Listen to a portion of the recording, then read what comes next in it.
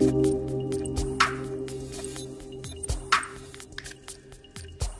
you.